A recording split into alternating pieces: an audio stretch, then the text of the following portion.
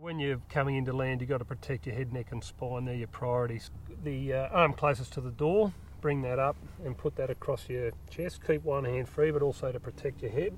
You can bring your feet in underneath you to protect you from any compressive forces, and also bring your body down as well. That'll protect you there, and you've got a free hand. Um, once you get in and you've landed, you can use this free hand to open the door, and that's also important if you happen to uh, be inverted in your plane with your aircraft uh, upside down so that you can open the door with a free hand and do that before you release your belts. When you come in, check the welfare for both, you know, obviously do a quick check on yourself and then the other person's in the plane, the pilot or passenger. As uh, quickly as possible after landing, clear the aircraft and uh, assemble at the rear, account for all persons. Do a uh, quick assessment then on the likely uh, hazards or risks around the aircraft, so fuel leaks or damage and the likes.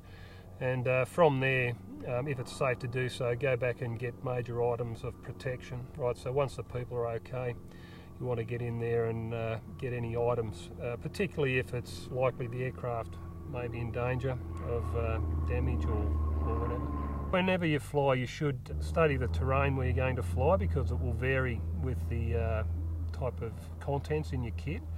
But the very basic essentials that you need to cover would be uh, items to alert people to where you are, and water. They're two uh, essential items. Uh, food for extended stays is uh, also something you might consider. Being able to make a fire for both uh, warmth and shelter and uh, protection is also very important as well.